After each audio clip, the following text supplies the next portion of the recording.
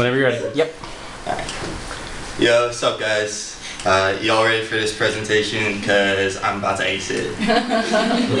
Alright, so I'm Nathan Tirabassi, and this is my presentation on the effects of texting on language. Now, I'm sure every single one of you in here has been texting for years now. You send so many texts a day to so many different people, and you use textisms. Uh, if you don't know what a textism is, it could be as simple as BRB, be right back. TTYL, talk to you later. LOL, laugh out loud. Or even an emoji that you throw in there at the end of your sentence. Um, it's the most common form of communication between our generations.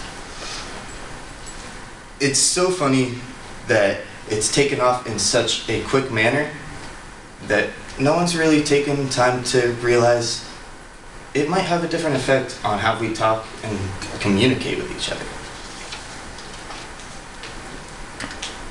Alright, so when looking at texting as a language, there's a huge negative connotation that I found. So, everyone seems to think that texting is just the devil. It's a terrible thing. They think that it provides lazy habits or incorrect grammar skills, things that you pick up on that people might not really notice when they're writing or talking in a formal setting. So, to elaborate more on formal versus informal settings and when it's okay and when not okay to use textisms, formal language could be an interview, a formal paper, an exam, something that is just not very comfortable to you, where you don't want to just say, yo, what's going on? But informal language is completely fine to use. When you're talking to your friends, just random conversations, someone walking by, just texting, internet chat, anything that we are confronted with every single day. It's okay to say informal things. At least I think so.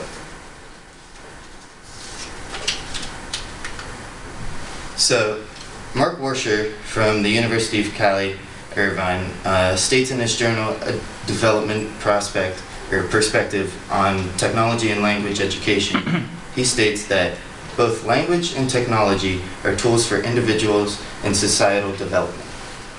Now, when I think about that quote, he's trying to say that texting isn't necessarily a language, really. It's more of a tool to pry our language to a different level. So there's positives and negatives to this, just like anything else. The positives that could be associated with it are quick, concise, and simple messages that get your point across, but don't necessarily take as much time as a complete formal written response. Now, the negatives that a lot of people focus on are lazy, sloppy habits with grammar, spelling. Spelling is probably the biggest. We have spell check and Word documents and your texting and anything that you do. And you don't really feel the pressure to know how to spell things. And when it comes down to it, the only way to uh, portray your knowledge of that word and how to spell is to actually do it without help. So you have to be careful with how much you text and what you're getting from your texting. But the positive and, positive and negatives uh, sparked my interest to do my own research. Um, I did a survey and asked 32 of fellow college students at the University of Mount Union, both male, female, of all majors, just some simple, easy yes or no questions. Do you text at least 10 times a day? Do you use textisms? And do you use textisms in communication outside of like texting? So this first graph here says 20% of the students that I surveyed said they don't use textisms at all. But 80% use them in basically every message. So whether it's just, like I said, a simple emoji at the end of your sentence, every single kid is basically using them. Some of them might not even know what a textism is when I asked, so you have to take that into perspective as well. Now the second graph though, does texting affect language? So 16% said yes, and 84% said no. Outside of texting, language is very pertinent. You can't just use sloppy language all the time. And these kids think that texting's fine. It doesn't really affect their language and habits when it comes to formal. I actually then asked five of my professors similar questions about whether these correlated at all. So, even though they said they didn't find it in their language, teachers said the same. Nothing in their uh, uh, exams or essays or anything that they get submitted for uh, grading has the textisms that are scary when you look at texting. So it's pretty interesting to think that texting doesn't affect that way. Now, David Crystal, the author of Texting, The Great Debate, states that abbreviation is not a new language. It's been around for years. So the textisms that are used in everyday texting aren't really something new. But a lot of people tend to say that texting and formal language are two different things. If they've been around for so many years, I think it's kind of bogus to say that they're two different languages. Um, now,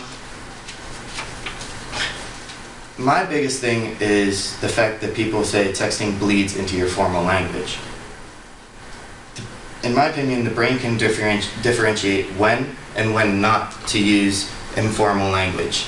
And it's really simple for you to notice in your language when you're taking an exam, you don't say, haha, I don't really think I know what I'm doing on this. Talk to you later. Peace out. But you, you know that if it's formal and you need it to be formal, you can make it formal. But if it's an informal setting, you're comfortable with just throwing out a LOL or a JK in common conversation. It's not going to hurt your reputation. So, overall, I think that texting only positively affects our language. It's a whole nother way to portray your message and talk to people in a concise and basically perfect manner for the set. So, hit me up with any questions if you got. All right. Thank you guys. This is my work cited.